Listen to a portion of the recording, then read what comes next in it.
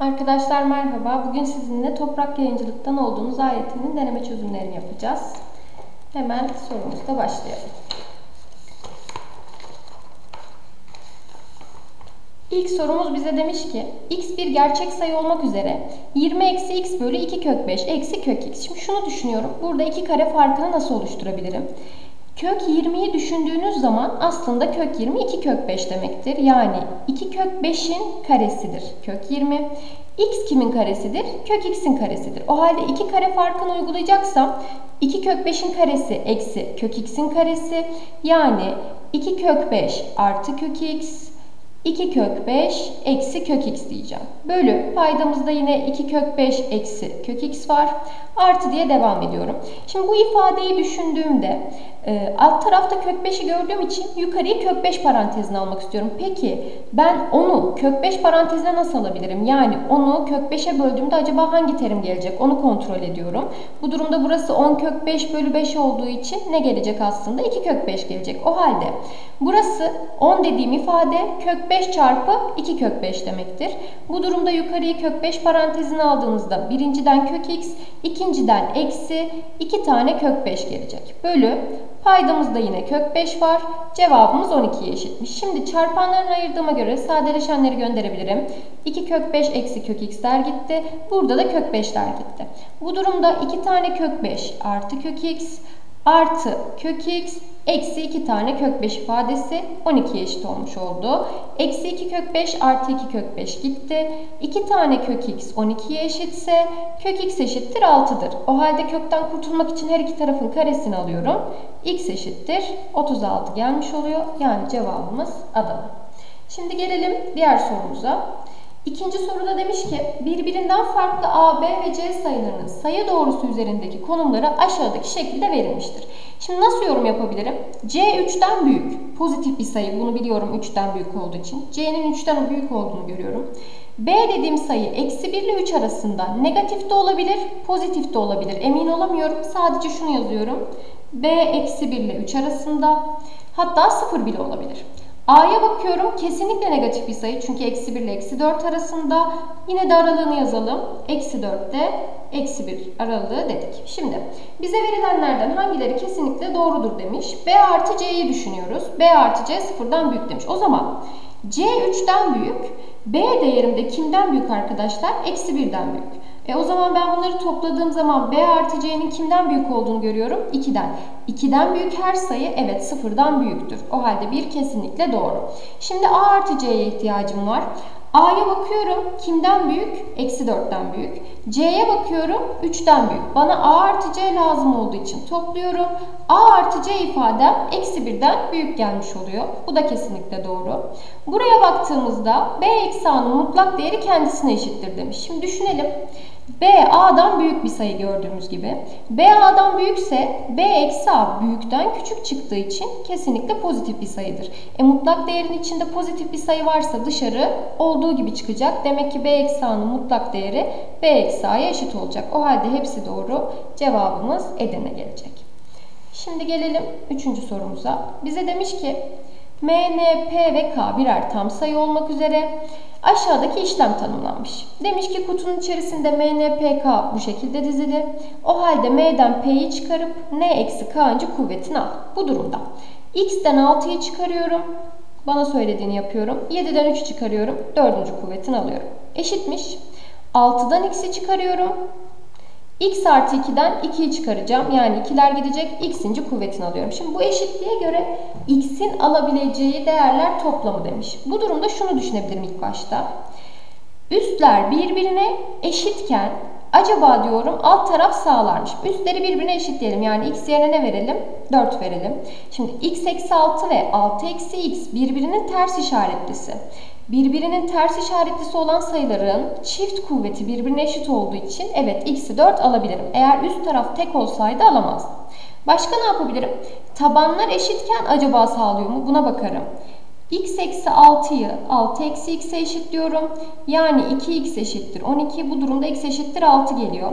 x yerine 6 yazdığımız zaman 0'ın 4. kuvveti 0'dır. 0'ın sıfırıncı, e, altıncı kuvveti yine sıfırdır. Sağladı. O zaman x eşittir 6 olabilir. Başka ne düşünebilirim? Şunu yapayım. Şimdi alt taraf 1 ya da eksi 1 olunca acaba eşit oluyor mu? Çünkü 1'in bütün kuvvetleri 1'dir. Bir de eksi 1'in çift kuvvetleri birbirine eşittir. Tek kuvvetleri birbirine eşittir. Alt tarafı 1 yapmak istesem bu durumda ne yapacağım? x eksi 6'yı 1 yaparsam x eşittir 7 gelecek. E, burada x yerine 7 yazdığınızda eksi 1 gelir. Ama eksi 1'in 7. kuvveti eksi 1'dir. Halbuki burada 1'in 4. kuvvetinden 1 bulduk. Demek ki biz tabanı ne yapmıyoruz? 1 yapmıyoruz. Bir de tabanı eksi 1 yapmaya çalışalım. Yani x eksi 6 değerim eksi 1 olsun. Bu durumda x eşittir ne gelecek? 5. Şimdi sağlayalım bakalım. X yerine 5 yazdım. Bu durumda burası eksi 1. Eksi 1'in dördüncü kuvveti artı 1'dir. Burada x yerine götürüp 5 yazıyorum. Burası 1 oldu. E zaten 1'in bütün kuvvetleri ki burada 5. kuvveti var. 1'in bütün kuvvetleri 1. Eşitlik sağlandı mı? Evet. Demek ki sağlayan x değerlerimiz 5, 4 ve 6 toplamlarını sormuş. 15 gelecek. Şimdi gelelim yeni sorumuza. Dördüncü soruda bize demiş ki Ardışık 5 pozitif tam sayının çarpımı şeklinde yazılabilen sayılara penta sayılar denir. Örnek vermiş 5, 4, 3, 2, 1 yani 120 bir penta sayıdır. Zaten en küçük penta sayı kim olabilir? 120 olabilir çünkü pozitif 5 tane tam sayının çarpımını istiyor benden. Ardışık olması lazım. Birden başladım 5'e kadar gittim. Demiş ki herhangi bir penta sayısı 40 ile tam bölünür. Şimdi düşünelim. E, ardışık 5 tane sayı aldığım için nereden başlarsam başlayayım bir kere içinde kesinlikle 5'in tam katı olan bir sayı vardır. Tıpkı buradaki gibi. Ya da şöyle söyleyelim. Mesela 12'den geriye doğru gidelim. 12, 11, 10, 9, 8. 5 tanesini aldım. E baktığınız zaman onun içerisinde 5 çarpanı var mı? Evet var. Hangisini de alırsanız alın ardışık 5 tane aldığınız için mutlaka içinde bir tane 5 çarpanı yani 5'in katı olan bir sayı gelecek. Bu bir. İkincisi 40'a tam bölünmesi için 5 ve 8'e tam bölünmesi lazım. Yani 3 tane de 2'ye ihtiyacım var benim çarpım olarak. E düşünüyorum. Bunlar bakın çift sayılar olduğu için her birinde birer tane en azından birer tane 2 çarpanı var. Demek ki 8 çarpanımı da yakalayabiliyorum. Buradaki 8 olmasa bile ardışık gittiğimiz zaman çiftler gelecek. O halde 5 çarpı 8 kuralımı sağlatabildiğim için bütün penta sayıları 40 ile tam bölünür diyorum. Şimdi demiş ki asal olamaz. E şimdi şöyle düşünüyorum. En azından ardışık iki tane. Bunlar da çift olabilirdi. Bunlar tek de olabilirdi. Onu da şöyle örneklendirelim. 11, 10, 9, 8, 7 olsun. E bu sefer iki tane çift olsun. Şimdi buraya baktığımda en azından iki tane çift sayı olduğu için içerisinde mutlaka ama mutlaka dörde tam bölünür. E dörde tam bölünen sayılar ne olamaz? Asal olamaz çünkü dördün katı oldu. Bu durumda asal olamaz dedi. Doğru. 4 basamaklı en küçük penta sayısının rakamları toplamı 9'dur demiş. Şimdi en küçük penta sayımız buydu. Bundan bir sonraki kim olacak? 6, 5, 4, 3, 2. Burası zaten 6 faktöriyelin kendisidir. Yani 720'dir ama hala 3 basamaklı. Bundan bir sonrakine bakalım. 7, 6, 5, 4, 3. Bu sayıya baktığımda nasıl bir sayı gelecek? Penta sayısı gelecek. Ardışık 5 tane pozitif tam sayının çarpımı şeklinde yazmışım. O halde bunu bir düzenleyelim. Bakalım kaç geliyor. 12 çarpı 7. 84 çarpı 30. Bu durumda 12, 24, 2620 geldi. 2520 geldi düzeltiyorum. 4 basamaklı en küçük penta sayısının rakamları toplamı 9'dur demiş. E 4 basamaklı en küçük penta sayımı kim buldum? 2520 buldum. Rakamlarını topladığımda da ne gelecek? 5, 2 daha 7, 2 daha 9. Demek ki bu da doğru. Hepsi kesinlikle doğrudur diyoruz. Şimdi gelelim yeni sorumuza. Kümelerle ilgili bir soru verilmiş. A ve B kümelerine ait Venn şeması aşağıda verilmiştir diyor. Şimdi A birleşim B 14 demiş. Harflendirme yapalım. Buranın eleman sayısı A, buranın eleman sayısı B, buranın eleman sayısı C olsun. A birleşim B dediğimiz bu üçünün ayrı ayrı toplamıdır. O halde A artı B artı C'yi 14 olarak biliyorum. A kesişim B'yi 3 vermiş. E demek ki B dediğimiz yer A kesişim B'de her ikisinde de bulunanlar. Demek ki B'yi 3 biliyorum. Bu durumda götürüp B'yi yerine yazdığımızda A artı C gelecek? B yerine 3 yazdım. Karşıya atıyorum. 11 gelecek. Bana ne demiş? Mavi ve turuncu bölgeli yerlerdeki e, kümelerin eleman sayıları çarpımı en çok kaçtır? Şimdi mavi ve turuncuda A ve C var. O zaman bana A ve C'nin en çok kaç olma durumunu mu soruyor? Bunlar eleman sayısı olduğu için kümelerin bir kere kesinlikle tam sayı olmak zorunda. O halde A ve B tam sayı hatta pozitif ya da doğal sayı olmak zorunda diyelim. A ve C doğal sayıyken toplamları 11, çarpımları en çok kaç olabilir demiş. Bu tarz sorularda A'yı ve C'yi birbirine en yakın seçmek durumundayız. En yakın ne seçebilirim? Eşit seçemiyorum. Birini 6, birini 5 seçerim. Bu durumda 6 çarpı 5'ten A çarpı C durumumuz en fazla 30 gelmiş olur. Şimdi gelelim yeni sorumuza. Bize demiş ki bir fabrikada dikdörtgenler prizması şeklindeki cam akvaryumlar kenarları arasında 1-2-3 oranı olacak şekilde üretiliyor. Bakın 1, 2, 3, 1 katı, 2 katı, 3 katı şeklinde. Bu akvaryumların satışı için aşağıdaki kurallara uygun bir polinom oluşturuluyormuş. Demiş ki Akvaryumun maliyeti yani bize geliş fiyatı yüzey alanı için her bir birim kareye 3 lira olarak hesaplanıyor. O zaman benim ne yapmam lazım? Bütün yüzey alanlarını hesaplayıp 3 ile çarpmam lazım maliyeti bulmak için. Şimdi yüzey alanlarını hesaplayalım. Bakın karşılıklı olarak iki tane boyutları 2x ve 3x olan cam var. Bunların alanları nedir? 2x çarpı 3x. 2 tane olduğu için 2 ile çarpıyorum. O halde 2 çarpı 2x çarpı 3x. Başka? Şu tarafta sağda ve solda boyutları x ve 2x olan iki tane camım var. Bu durumda iki tane x çarpı 2x olacak alanları artı bir de altta ve üstte boyutları x çarpı 3x olan iki tane camım var. O halde 2 çarpı x çarpı 3x diyorum. Burası yüzey alanım. E bana diyor ki bütün yüzey alanında her bir birim kareye maliyetin 3 lira. Düzenleyelim. Buradan 12x kare gelecek. Buradan 4x kare gelecek. Buradan da 6x kare gelecek. Topladığımız zaman 22x kare var. E bir de bunu 3 ile çarpıyorduk. Demek ki benim maliyetim 66x kare geldi. Bu bize maliyetini verdi. Şimdi satış fiyatına bakalım. Demiş ki Akvaryumun satış fiyatı hacmindeki her bir birim küp için 5 lira olarak belirleniyor. O zaman akvaryumun hacmini neyle çarpacağım? 5 ile çarpacağım. Şimdi satış için bakalım. Hacmini buluyorum. Hacim dediğimiz 3 tane boyutun çarpımıdır. O halde x çarpı 2x çarpı 3x. Her bir birim kübü 5 ile çarp dediği için 5 ile çarpıyorum. Bu durumda burası ne gelecek? 6 tane x küp çarpı 5 yani 30 tane x küp. Bu da bize satış parasını verdi. Şimdi demiş ki px polinomu. Şekilde ölçüleri verilen akvaryumun satışından elde edilen kar fonksiyonu. Kar nedir? Satış eksi alıştır. O halde benim px polinomum satış eksi alış olacak ki kar versin. Bu durumda satışa bakıyorum. 30x küp Alış yani maliyet fiyatıma bakıyorum. 66x kare. Bu durumda px'i bulmuş oluyorum. Bana da demiş ki px polinomu aşağıdakilerden hangisidir? 30x küp eksi 66x kare yani cevap C. Şimdi gelelim yeni sorumuza. Demiş ki sayı doğrusu ile modellenen bir tahta üzerindeki karıncanın hareketi boyunca 1 ve 8 noktalarına olan uzaklıklarının toplamı daima sabit bir sayıdır. Bakın Şimdi 1'e ve 8'e olan toplam uzaklığı daima sabittir diyor. Ve demiş ki buna göre karıncanın hareketlerinden bu verilen ifadelerden hangisi doğru olabilir? Bakıyorum. 8 noktasının sağında herhangi bir yerde 8 sonsuz aralığında hareket ediyor olabilir diyor. Şimdi eğer karınca 8'in sağında 8'den sonsuza doğru giderse bir kere hem 1'e hem de 8'e olan uzaklığı giderek artar. E doğal olarak toplam sabit kalmaz. Ne olur artar. O zaman bunu eledim. Burada da demiş ki bir noktasının solunda herhangi bir yerde ve eksi sonsuz bir aralığında hareket ediyor olabilir. E bu durumda bakın birin bu tarafındayım. Eksi sonsuza doğru gidersem hem 1'e olan uzaklığım hem 8'e olan uzaklığım sürekli ne yapar? Artar, sabit kalmaz. Veya eğer ki ben eksi sonsuzdan 1'e doğru 1'de kapatmış 1'e doğru gelirsem 1'e olan uzaklığım azalır 8'e olan uzaklığım da azalır. E, giderek bu durumda azalmış olur benim uzaklığım. Bana sabit kalıyor demişti. Bunu da eledim.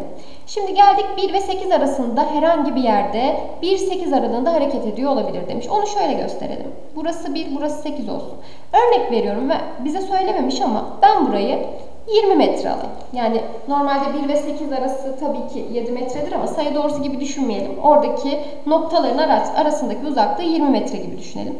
E şimdi burada ben mesela bu noktadayım diyelim ki ve bu noktanın 1 olan uzaklığını 5 alayım. E tamamı 20 metre ise burada ne olacak? 15. Şimdi diyelim ki hareketimi 1'den 8'e doğru yaptım. Yani buradaki 5 noktasından birazcık sağa gittim. Örnek veriyorum 2 metre gitmiş olayım. O zaman burası 7 olur. E, tamamına 20 dediğime göre burası ne olacak? 13. Bakın bu noktadayken 1'e olan uzaklığım 5, 8'e olan uzaklığım 15, toplam 20 idi. Biraz sağa gittiğim zaman 1'e olan uzaklığım 7, 8'e olan uzaklığım 13. Yine toplamım ne olacak? 20. Sola da gitsem, sağa da gitsem o aradaki mesafe değişmeyeceği için 1 ve 8'e olan toplam uzaklığım daima bir sabit sayı olacak. O halde ben hareketimi sadece 1 ve 8 arasında gerçekleştiriyor olabilirim. Cevabımız yalnız 3 olacak. Şimdi gelelim yeni sorumuza. Bir bölme bölünebilme sorusu. Demiş ki bir banka hızlı hizmet verebilmek için her bir müşterisine iki basamaklı bir sayıdan oluşan bir şifre göndermektedir. Banka bu işlemi yapabilmek için önce müşterisinden mesajla 5 basamaklı bir sayı göndermesini istemektedir. Daha sonra banka bu 5 basamaklı sayının 36 ile bölümünden kalan değeri müşterisine şifre olarak yollamaktadır. Şimdi demiş ki bu bankanın müşterisi olan Celal Bey mesaj olarak bunu atıyor. 4 x x x 2 sayısını atıyor. E doğal olarak da gönderdiğinde kendisine şifre olarak AB geliyormuş. O zaman ben şunu düşünürüm. 4 x x x 2 sayısının 36 ile bölümünden kalan kimdir? AB'dir. Çünkü bana o şekilde tanımlamış. O gönderdiğimiz mesaja karşın 36 ile bölümünden kalan sayıyı şifre olarak atıyor diyor. Şimdi 36 ile bölümünden kalan için kimleri kontrol etmeniz lazım? Aralarında asal çarpanlarına bakmalıyım. 4 ve 9'a bak bakacağım. O halde diyorum ki şimdi böyle bir sayı bakın. 4 ile bölümünden kalan ne olabilir? Bir kere 4 ile bölünebilme kuralımız son iki basamaktı. Diyelim ki x 0 olsun. Burası 0 2 olursa 4'e böldüğümde kalan 2 olabilir. Eğer burası 1 olursa x yerine 1 yazarsam 4'e bölümünden kalan ne olacak? 0 çünkü 12 4'e tam bölünür. Başka? Eğer burası 22 olursa yani x yerine 2 yazarsam 22'yi 4'e böldüğümde kalan yine 2'dir. Eğer buraya 3 yazarsam 32'yi 4'e böldüğümde kalan 0'dır. Demek ki bu 5 basamaklı sayının 4'e bölümünden kalan ya 0 ya da 2 olacak. Gelelim 9'a. Şimdi 9'a bölümünden kalanı kontrol etmek için de ne yapmak durumundayım? Rakamlar toplamına bakmak durumundayım. O halde 4 ile 2'yi topladım. 6 artı 3x diyorum. 6 artı 3x gibi bir ifadenin acaba 9'a bölümünden kalan ne olabilir ona bakacağız ki burada x bir rakam olacak. Çünkü bu 5 basamaklı bir sayıymış. Eğer x yerine 0 verirseniz 9'a bölümünüzden kalan 6 olur. Eğer x yerine 1 verirseniz 3 artı 6'dan burası 9 yani kalanım 0 olur. Eğer x yerine 2 verirseniz 6 artı 6 12 9'a bölümünden kalan 3 olur. Başka? X yerine 3 verirsek burası 9 olacağı için kalan yine 6 olur. X yerine 4 verdiğinizde 12 artı 6 18 kalan 0 olacak. X yerine 5 verdiğinizde 15 artı 6 21 kalanınız 3 olacak. X yerine 6 verdiğinizde 18 artı 6 24 kalanınız yine 6 olacak. Ya da 7 verdiğinizde 21 artı 6 27 kalanınız ne olacak? 0. Ya da 8 verdim 24 artı 6 30 kalanım 3 olacak. 9 verdiğinizde de yine aynı şekilde kalanınız 6 olacak. O halde şuna bakıyorum. Demek ki ben hangi rakamı yazarsam yazayım 4'e bölümümde kalan 2 veya 0 olacak. Ne yazarsam yazayım 9'a böldüğümde kalanım 6, 0 veya 3 olacak. O halde şıklardan bunların ikisini de aynı anda sağlayabilecek değerleri kontrol etmem lazım. Bana da diyor ki bu Celal Bey'in aldığı şifrenin en büyük değeri kaçtır diyor. E şimdi şıklardan gideceğim. 32'ye bakıyorum. 32'nin 9'a bölümünden kalan 5'tir. Ama ben 9'a bölümünden kalanı 6, 0 veya 3 yapabiliyorum. O zaman bunu eledim. 30'a bakıyorum. 30'u 9'a böldüğüm zaman kalan 3. Evet bunu sağlıyor. Bir de 30'u 4'e böldüğüm zaman kalanım ne olacak arkadaşlar? 2. Bunu da sağlıyor. O halde benim aldığım en büyük iki basamaklı buradaki şifrem ne olabilir? 30. Diğerlerini kontrol etmeme bile gerek yok. Her ikisini de sağlayan bir değeri buldum. Mesela A şıkkında 3 artı 2 5'ti. 9'a bölümünden kalan 5 olamayacağı için onu direkt elemiş oldum.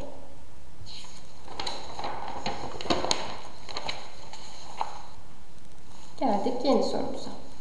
Bir parabol sorusu verilmiş bize. Diyor ki aşağıdaki şekilde ax kare artı bx artı c fonksiyonun grafiği görülmektedir. Bu bir parabol. Şimdi baktığınız zaman parabolünüz y ekseni nerede kesmiş? 12'de. Yani x yerine 0 verdiğinizde sabit değerinizin ne olması lazım? 12. Ben buradan c'nin 12 olduğunu anlıyorum. x yerine 0 verdim bunlar gitti. c eşittir 12 geldi. Başka? Tepe noktasının absisini 2 vermiş. Yani bize R değerini 2 vermiş. Peki R'yi nasıl hesaplarız? Eksi B bölü 2A. O halde eksi B bölü 2A değerim ne olacak? 2. Yani B eşittir eksi 4A olacak. Bunu biliyorum. Başka neyi kullanabilirim? Bakın burada 15'i yani M'i 15'e götürmüş. M'i bilmiyorum. K'yı 12'ye götürmüş. K'yı bilmiyorum ki şu anda A'yı ve B'yi de bulamadım. O halde başka ne kullanabilirim? Yine bildiğim bir şey. Eksi 2'yi 0'a götürmüş. Yani bana diyor ki f eksi 2 eşittir 0. x gördüğüm yere götürüp eksi 2 yazacağım. Eksi 2 yazdığım zaman karesini aldım. 4a. Eksi 2 yazdım. Eksi 2b artı c'yi yazıyorum ki c'yi 12 bulmuştum. Eşittir 0 olmak durumunda. Eksi 2'nin görüntüsü 0 olduğu için. Şimdi b gördüğüm yere eksi 4a yazabilirim. O halde burası ne olacak? 4a Eksi 4a ile eksi 2'yi çarptım. Artı 8a artı 12 eşittir 0. Yani 12a eşittir eksi 12. Bu durumda a eşittir eksi 1 gelecek. a'yı eksi 1 bulduğuma göre götürüp yerine yazıyorum. Eksi 4 çarpı eksi 1'den b eşittir 4 oluyor. Artık ben fonksiyonumun denklemini biliyorum. ax kare yani eksi x kare artı bx yani artı 4x artı c yani artı 12.